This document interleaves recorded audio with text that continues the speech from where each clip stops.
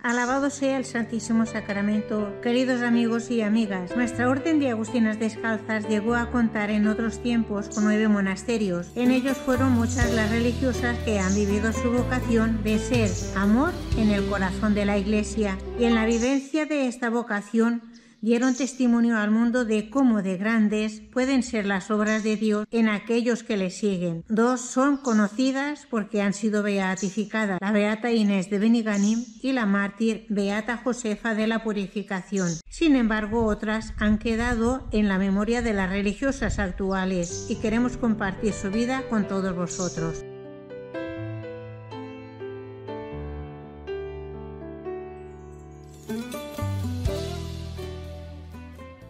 Alabado sea el Santísimo Sacramento.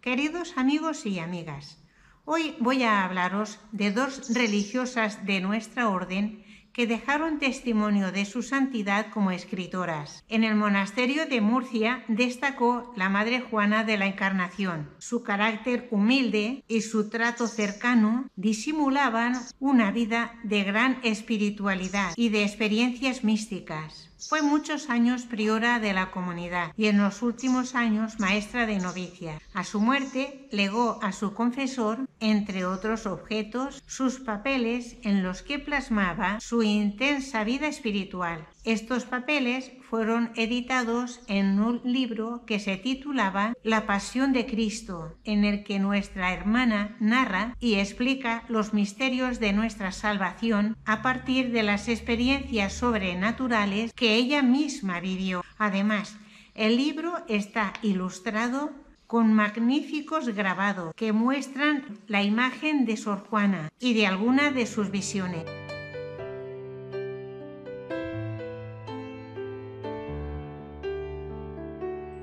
Otra de nuestras religiosas más destacadas fue la Madre María de Jesús Gallar. Nacida en Oliva, quedó huérfana pronto y vivió bajo la tutela de su hermano mayor y su cuñada. Ingresó como agustina en Alcira, pero antes de profesar salió de ese convento para entrar en el monasterio de Agustinas Descalzas de Denia. De este monasterio saldrá para fundar en la vecina Javea, siendo el primer monasterio de la orden fundado por el impulso y gestiones de una religiosa, conocedores de su espiritualidad, vida de oración y profunda entrega y confianza en Dios, sus maestros espirituales le encargaron que dejase testimonio escrito de sus vivencias y pensamientos. Nos quedan poemas, autobiografías y una obra titulada El Camino de Perfección.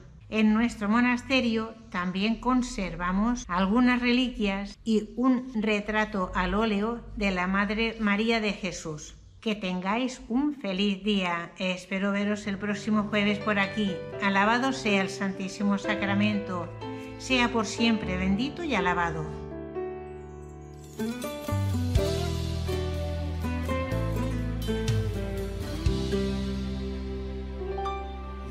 Dice que me ama